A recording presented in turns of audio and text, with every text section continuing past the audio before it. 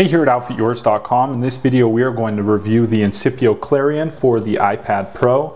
This case is made to be a little more protective than some of the other iPad Pro cases that you'll see out there.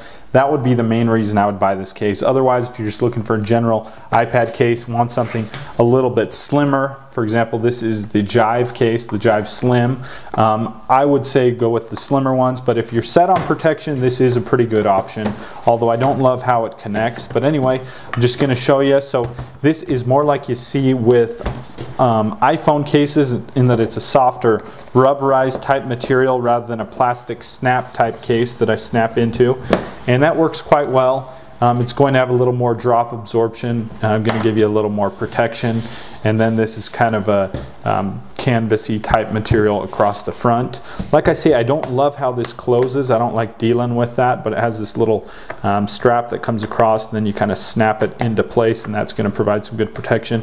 It also is kind of translucent, so it's going to show off the iPad a little bit. You've got full access to your buttons and ports as you are going to with all Incipio cases. And then you do have some functionality of the different stands. Um, so you have that. Then you can use it like that as well. Um, but like I say, not my favorite case out there, but if you do want some extra protection, this is a good option.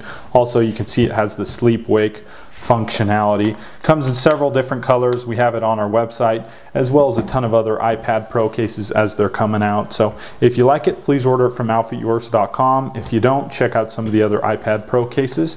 But this is the Incipio Clarion for the iPad Pro.